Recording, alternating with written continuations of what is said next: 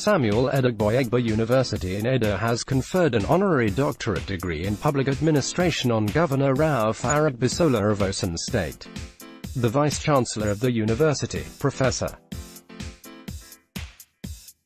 Ben Aigbokhan at a special convocation held on Saturday extolled the qualities of Aregbesola, which he said stood him out for the honorary degree. Aigbokhan said the good leadership qualities of the governor had placed his state among the top five with lowest unemployment rate in the country. Osun is also second in human capital development in Nigeria, he said.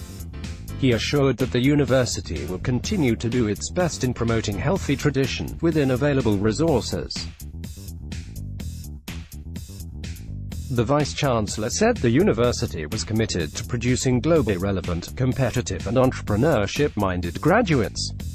In his remarks, Aregbesola thanked the university for the honor and advised government at all levels to commit resources to funding education even if it would require borrowing.